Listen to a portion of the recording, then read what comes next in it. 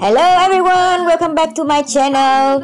Xin chào mọi người, chào mừng mọi người đã quay lại với kênh của bé Quỳnh.